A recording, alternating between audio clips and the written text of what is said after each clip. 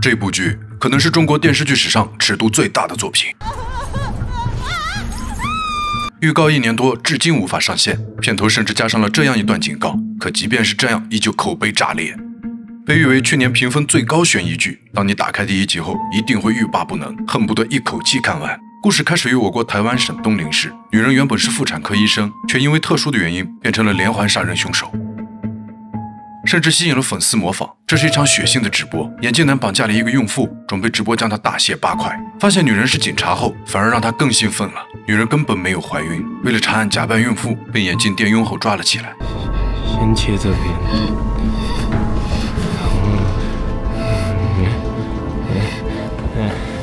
再切这边。弹幕催促着赶紧动手。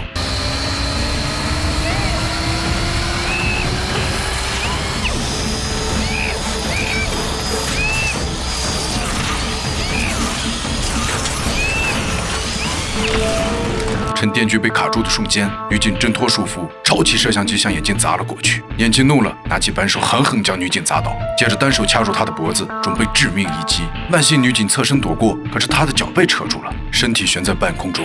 见此情景，眼镜不慌不忙，打算先折磨她一番，先用扳手砸在女警腿上，她被砸得无力反抗。接着眼镜扔掉扳手，猛地抱住她脑袋，狠狠向旁边撞了过去。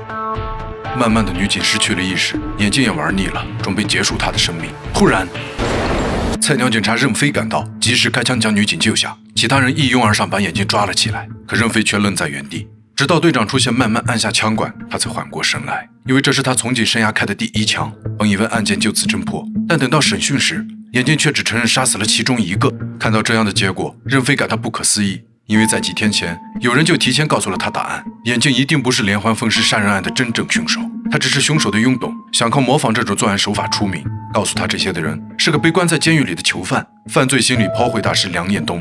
几个月前，他因入室奸杀空姐被捕，而这所有发生的一切，都只是巨大阴谋的开始。